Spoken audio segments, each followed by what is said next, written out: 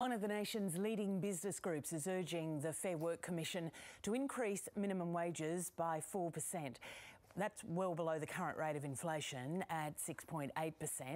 To talk about it, CEO with the Australian Chamber of Commerce and Industry, Andrew McKellar, joins us from Canberra. Andrew, good morning. Welcome to News Breakfast. Good morning, uh, Lisa. Great to be with you. Now, you've settled on, in your submission to the Fair Work Commission, 3.5% uh, increase with a 0.5% superannuation. Why that figure?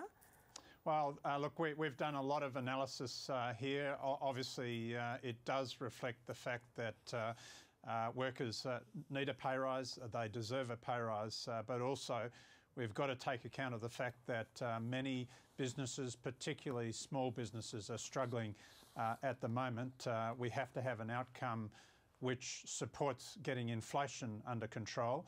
Uh, but at the same time, uh, we've got to ensure that uh, businesses aren't facing those higher costs. So we think it's a responsible outcome. And we think it's something that will support workers and small businesses alike. How does it support workers when it means that they continue to have what is a real wage cut?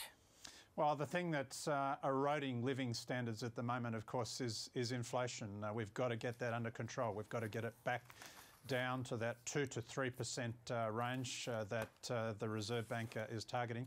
If we don't do that, uh, we're just going to end up uh, chasing our, our tail. Uh, it will mean that businesses are putting up prices again. that's cutting further into wages. it means there's going to be more pressure on, on, interest rates. we've got to see an outcome that's fair to workers and fair to small businesses, um, and that's the best way forward.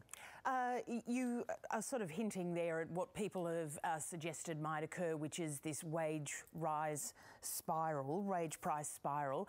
Uh, we're talking about the Commission making a once a year decision, and we have seen that in fact the threats or fears of what was going to happen did not happen. It wasn't brought in by wages going up at all after the last increase. So, why do you stick with this argument when economists say there's not the grounds to it?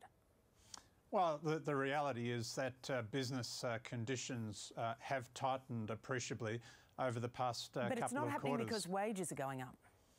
Well, and, and we don't want to see uh, wages going up excessively. The ACTU has put forward a submission to increase wages uh, by 7%. Now, that's an extra $12.6 billion of cost that flows into business and particularly uh, small business. Uh, those businesses are struggling. Um, they're not making uh, increased profits. Many of them are actually going backwards. Uh, we don't want to uh, do further damage. Um, that would put at risk uh, jobs. Now, we've, we've, we've, seen though that big business is doing well. We've seen the profit announcements that have been coming out over the last couple of months. We had Sally McManus on the couch just yesterday, mm. and I put to her this suggestion that small business was doing it tough, and she said that's not the evidence either. Well, I'm, I'm sorry, but she, she's wrong. Uh, if you look at what's happening in terms of profit figures over the past uh, couple of years, it's sectors uh, like accommodation, hospitality, uh, retail, uh, they've been struggling. Um, they're going backwards, uh, not forwards. Um, and they're the ones, those are the sectors that are paying these minimum award wages. Um, not the mining sector. Of course, the mining sector resources uh, in general have been ma making much better profits. Um, so I think we, we've got to get our facts straight. Um, that's the reality for many small businesses. We've got to give them a fair go. They're the backbone of the economy.